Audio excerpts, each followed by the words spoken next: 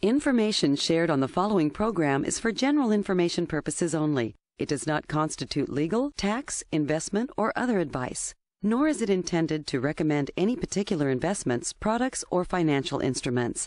Always seek advice from your financial advisor, attorney, or accountant with regard to investment, legal, or tax questions. Welcome to the Worry Free Retirement with Tony Walker.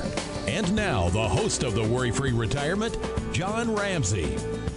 And welcome to the Worry Free Retirement, the only show in the country dedicated to helping savers worry less about money.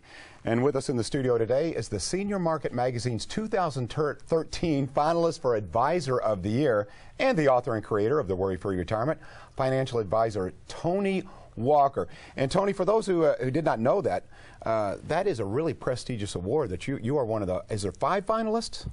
Yeah, every year that magazine has five finalists, and I was one of them. So uh, didn't didn't get the top honor, but that's all right. It was a real honor just to be selected. So uh, really appreciated that. I'm not surprised. Uh, he's in the house. We'll have some great advice for you, especially if you happen to be a saver. Tony, before we get into the meat of the program today, wanted to ask you a little bit about your weekend. You and the family, how'd it go? Well, well, you know, I know you've been uh, married your wife quite a while. I've I just celebrated 30 years with Susan. Wow. And uh, since this is a financial show, do you mind if I kind of share what we did over the weekend? Sure. Okay. you know, now, now don't get me wrong. Susan likes to be wined and dined, as they say. So I've spent some big bucks on her over the year. But we've got our little cabin in the woods. All right, and it was just she and I. We got to spend two nights up there this weekend, so it was a lot of fun. But we got this little fire pit thing out there. It was a beautiful night, quiet and uh, we decided to make some s'mores.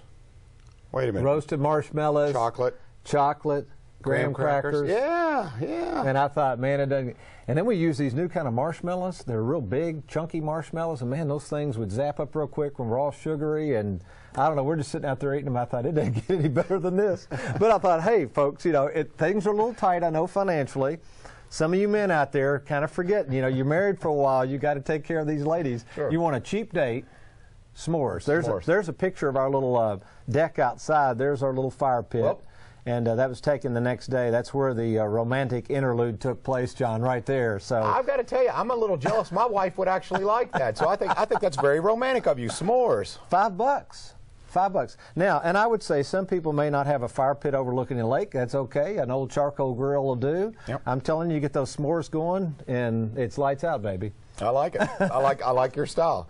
All right. As you know, this this show is all about planning for your retirement. And Tony, I wanted to talk to you because the more I watch television, the more I read about the state of the economy. I, I have to admit, I, I'm I'm a little worried. Uh, I've heard everything from you need a million to two million, and you're never going to have enough, and you've got to keep saving. And as I approach or get closer to retirement age, I, I am more than worried. You're in the trenches. That's that's one of your MOs. That's what you're famous for. You actually know what people are saying, what's talk, what's working out there, what's not working. What's your take on this? Well, my take is, John, is what you're just saying. I think some of the worry is being created by the financial world themselves. I mean, the financial world, um, I studied under a guy years ago named Bob Castellone, just a sharp guy, knew economics well, had a lot of great sayings. He always said something about the financial world I thought was really cool. He said it's a lot like Dracula. You know, you think about Dracula. Dracula needed what? He needed blood to live. Without it, he would die. The financial world needs money. My Our money. money. Your money. Your money. And without it, they they die. Die. So what happens is, as people approach retirement, unlike my granddad who had a game plan to use and enjoy his money, which is what money's really all about, the financial world has set this precedent that you've got to have boatloads of money. You can only live off the interest. In other words, John, we'll take care of the principal. That's how they're really making the money. We'll throw you a bone, and you figure out how to make it in the meantime. If we don't do as well as we thought, but we still get paid, that's tough luck. I mean, this is a game that's hard for consumers to win. So when you see these huge numbers being advertised, I say don't fall for it. I really don't. I want, I want to go through again the four rules of financial institutions. Let's kind of stay with this Dracula theme, and I think this is going to help you folks. And this is not a knock against our financial world out there. It's any financial institution has to do this. So let's imagine, John. Let's play a little game here. Let's imagine you and I started Ramsey and Walker Financial Institution. That would be hilarious, actually. Can you imagine that? but anyway, so we don't have any money. So we're starting this new marketing organization or financial institution. The first thing we got to do is figure out how to get other people's money. Would you agree with that? Sure. We got to have money That's to our operate business. on. All right. That's rule number one. An example, we'll, we'll pick on 401ks. The 401k was a great marketing tool back in 1978 because what happened was before employers provided pensions, now all of a sudden Joe Lunchbox shows up to work with no pension and there's this nice guy or lady in a suit or whatever and they enroll you in a 401k. And you got to save for retirement so they get your money through the 401k. You with me so far?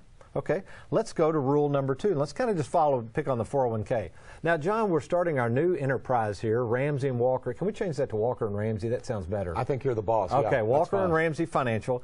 Wouldn't it be nice, John, rather than people sporadically coming in here dropping off some deposits, wouldn't it be nice if we could get it on a regular basis?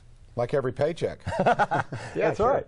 So the financial world wants you to get it on a regular basis. Let's go to rule number three of the financial world. Okay, now this one is kind of, this gets a little stingy here.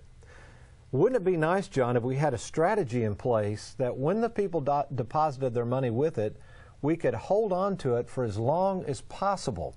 Because the longer we hold on to it and use it, the more benefit we get from their money. You following this track? Sure.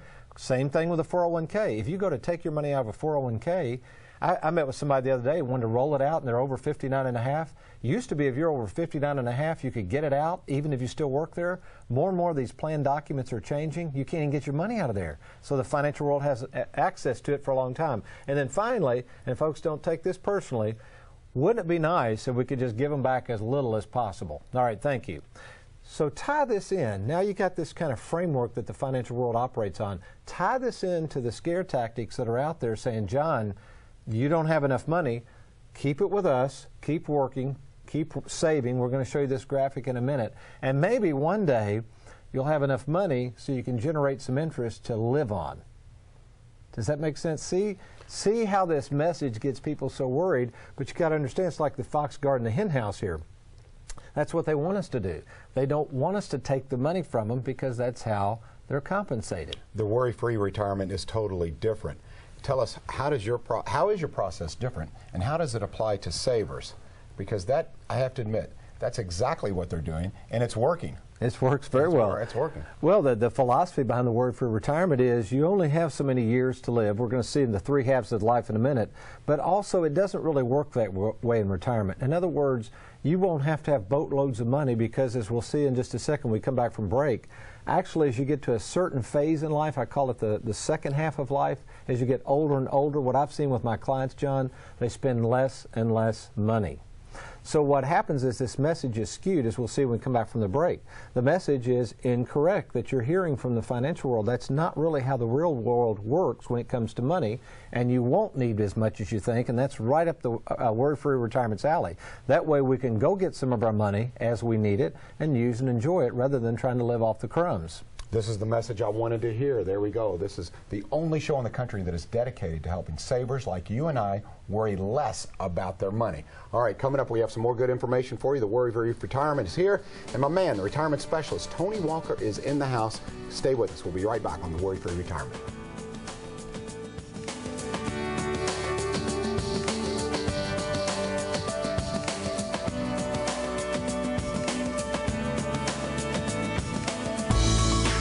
How would you like to find a trusted advisor in your area who practices and preaches the same safe money solutions that I speak of on this program? Well, you can by simply logging on to TonyWalkerFinancial.com and clicking on the Find an Advisor link. Once there, just fill out the confidential profile and submit it. This free service is available to savers who are serious about safeguarding their money. So what are you waiting for? Stop worrying and log on to TonyWalkerFinancial.com.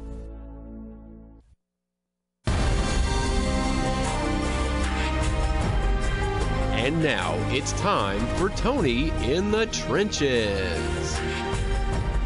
You were talking a little bit about how, as you've gotten older, uh, you're not spending as much money. Kind of elaborate on that for the audience a little bit. Well, I, I, I, I've always heard this, and now that I have got older, I just don't really have the desire to buy anything like I used to when I was a younger man. I mean, I used to think I had to have a new automobile all the time, and now I'm at the point in my life which I just don't care that much about new cars anymore. You know, and and uh, everything I have, of course, is paid for, and I basically don't spend that much money anymore. I just don't have no reason to spend it. I don't take no vacations, and uh, you know, I, that's that's primarily what I do. You know, I just don't I just don't have no desire to buy a lot of stuff anymore. You know, that's kind of where I'm standing right now. What would you say to people out here that uh, people are getting this message that it's going to take more and more money to live on, which in one sense is true with inflation. Yeah. But what would you say to people who are maybe, let's say, in their early 60s and they're worried about the amount of money they're going to need in their 70s and 80s and 90s? What, what maybe word of encouragement could you give them? Well, I don't think they're going to need as much money as probably they think they're going to need because, I, as I said, I don't think they're going to be buying all this stuff that you buy when you are a younger person that you think you have to have.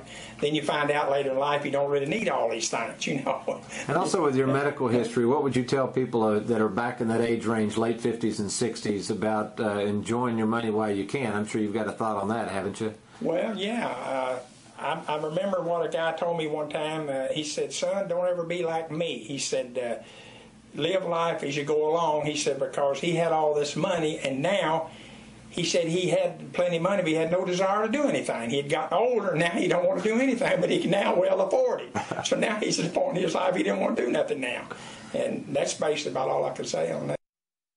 Wow, Tony, that's eye opening. The, the financial world has not given me that same message.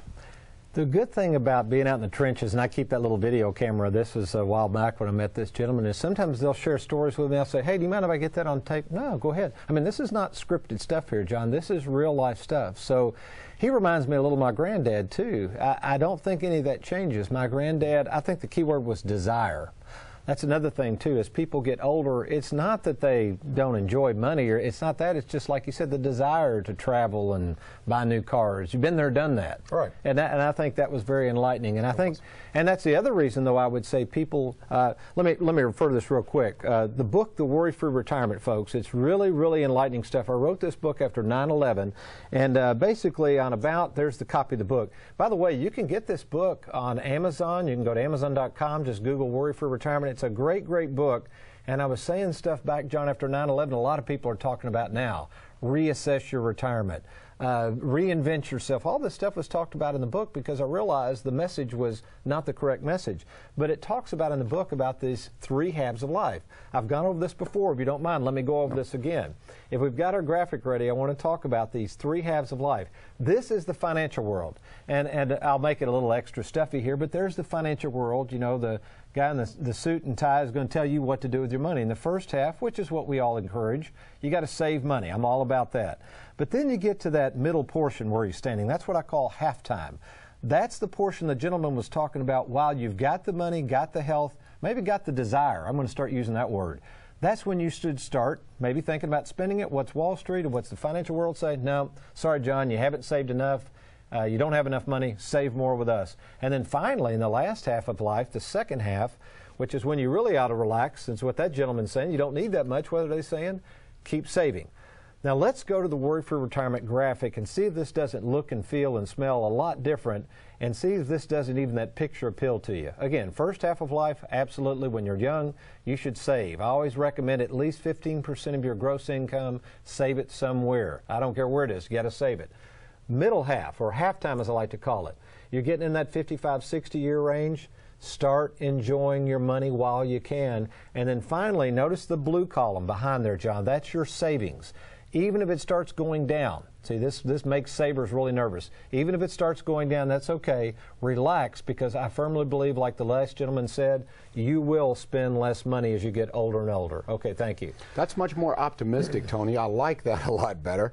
And, and, and that's a big part of your process is about being able to spend and enjoy your money. You earned it, and that's part of it. And a lot of times the financial world don't tell you that because they want to keep your money.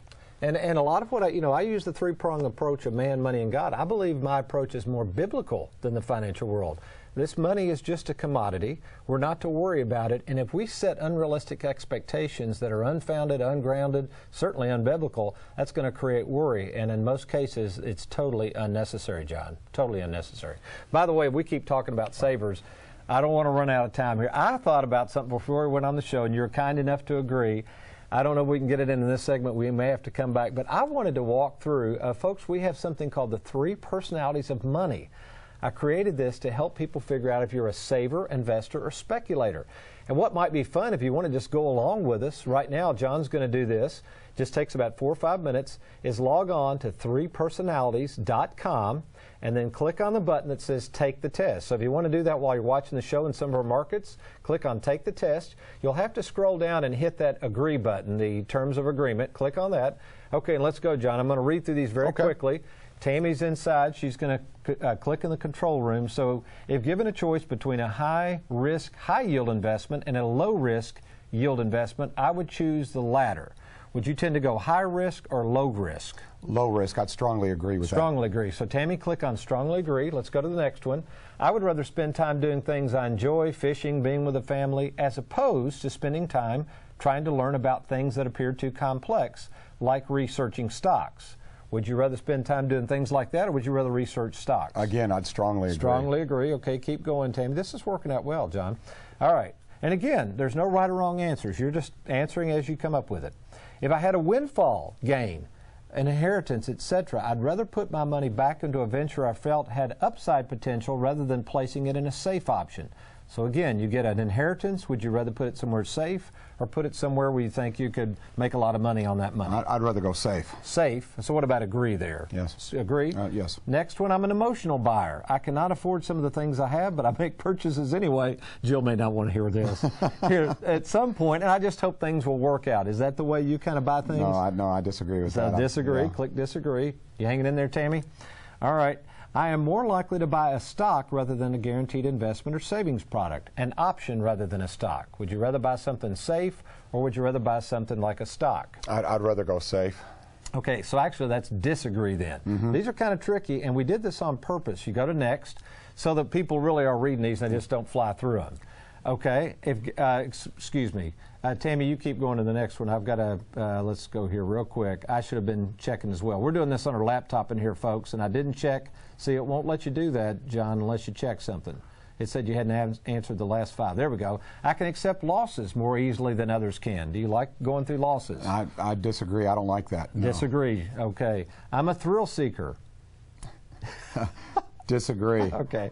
You ever roast marshmallows? That's I- I of do like thrilling. doing that. That's a thrill for me. All right. I enjoy analyzing buying decisions based on research. Do you like researching things before you go out and buy a washer and dryer? Or you just go out there and get one? I, I'm not a big research guy. I disagree. Yeah. I like guarantees. I do like guarantees. Okay, agree on that. yes, I do. I have no problem taking advantage of the situation at hand. Uh, no, I disagree. Okay, disagree. I will take a chance once I have done my homework. Uh, agree. Okay, agree. No problem. By the way, a gentleman took this the other day, and he had a variable annuity, and uh, he said, "Well, I took your uh, uh, course online, and I it said I was an investor." And I said, "That actually makes sense because investors like variable annuities, savers like fixed annuities. Kind of cool. I want financial products that are very predictable." I agree. Okay, I'm an impulse buyer. Uh, disagree. All right. Tammy saying, hustle up. When challenged, I do not know the real details of the true impact of current events on financial markets. I, I'd agree with that. Okay. The expression no risk, no reward definitely fits me. No, I disagree. Disagree. Very good. A penny saved is a penny earned. Agree. Agree? We're going great here. We're almost done here. 15 and 16. I left out again. Uh, disagree. Agree. Here we go. Have you got that in there, Tammy? Have you She's- already logged it up? Okay, you might want to put in, uh, just put John and uh, there you go. Can you type that in real quick? John Ramsey. What about your email? You okay putting that up there? Sure, We'll get it off it there real there. quick. Throw it on there and let's watch it pop up. And again, folks, take this at home. This gives you a chance to do it. It's calculating. Scroll to the top. Congratulations. There you go. Thanks, Tammy. That's cool, isn't it? That's very cool. You're predominantly a saver. So, folks, when you take this, I use psychologists at the Western Kentucky University here in Bowling, in Bowling Green, Kentucky. This is scientific. It's helping you gauge what your predominant personality is, so then you can purchase products that fit your personality. And we are the only show that is dedicated to helping savers worry less about their money. We'll be right back on the Worry Free Retirement.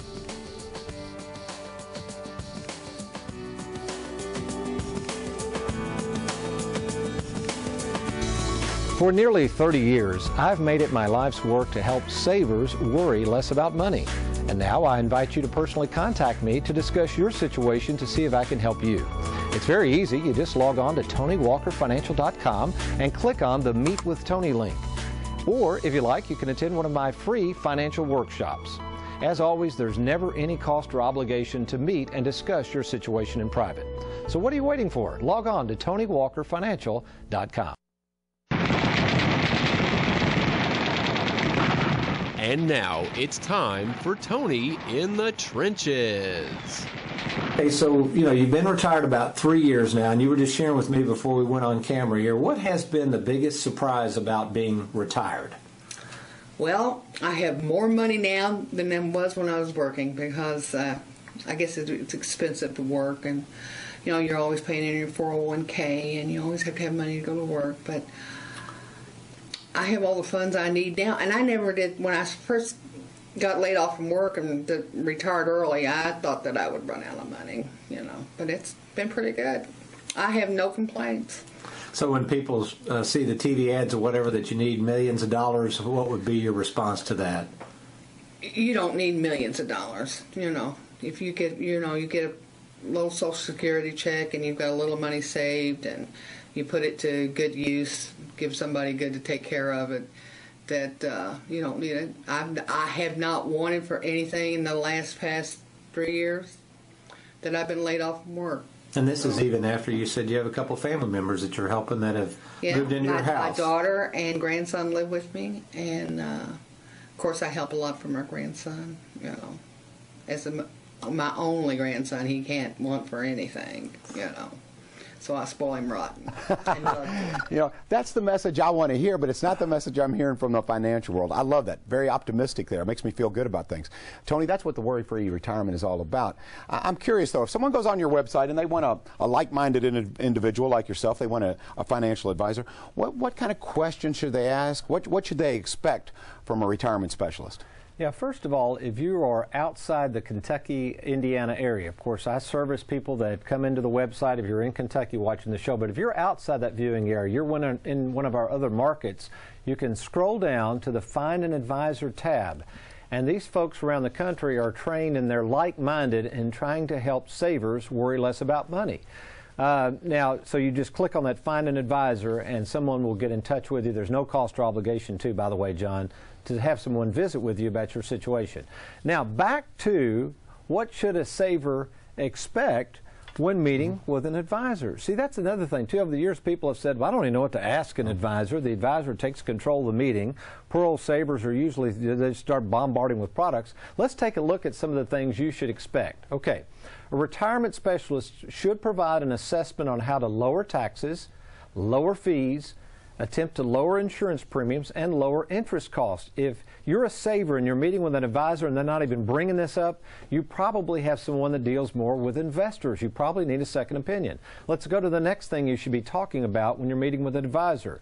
They should have some sort of software that can analyze when to take Social Security and strategies involving Social Security. So let's say you're getting ready to retire. There's a lot of software out there, we have it as well, that can help you think about whether you should take Social Security now or delay it. Let's see what else we've got on there. I've got several of these, John. There's a whole list. And then finally, let's just go with this. Uh, this is the last one. What type of life insurance, if any, should be secured, or should there be any life insurance that should be kept? So those are the main things that there's other things that could come up, but a saver should be preoccupied with those items.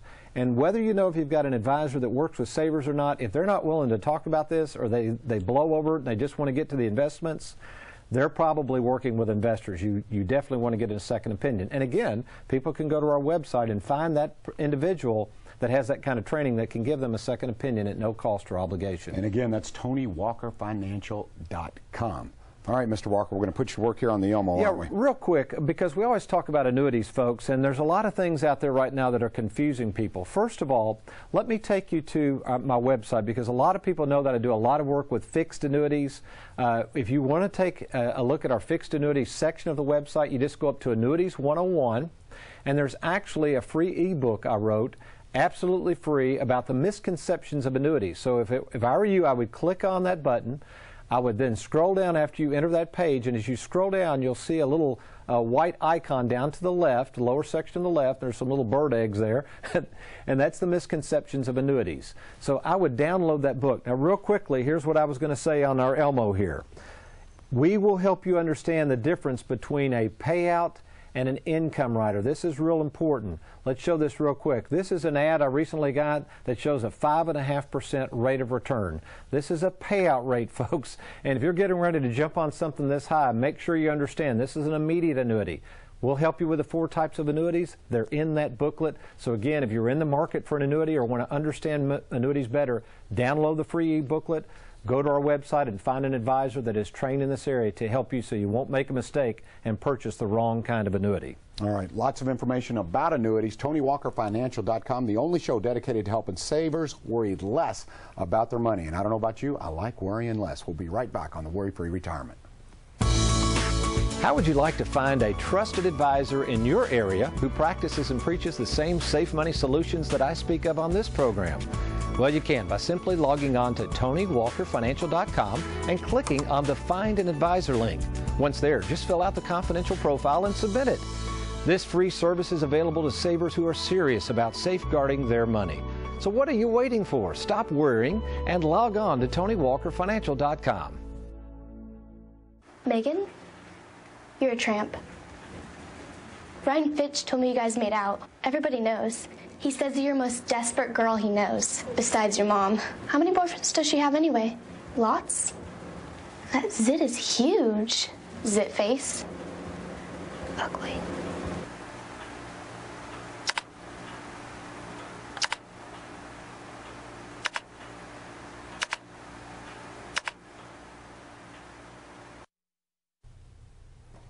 Welcome back. TonyWalkerFinancial.com. Now, the first 10 people who go there to TonyWalkerFinancial.com and click Contact Tony. Leave your name, leave your address, and we'll give you a free copy of the book, Three Personalities of Money. Thank you so much for joining us. Remember, we're the only show in the country dedicated to helping savers worry less about their money.